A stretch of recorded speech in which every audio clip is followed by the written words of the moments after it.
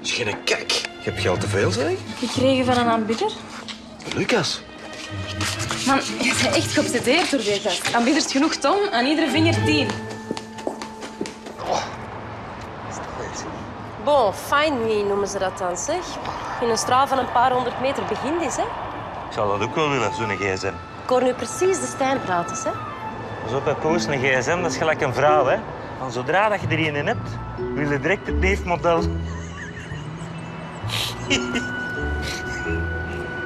een grapje, hè? Ja, ik heb hem, hè. Enfin, als hem er een wilt, dan moet hem er een kopen van zijn eigen geld, hè. Ik kijk dat niet, hè, zeg. Hallo?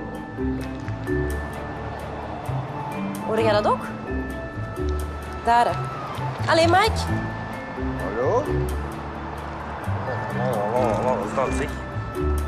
Jongen, van wie is die gsm? Goeiedag, meneer.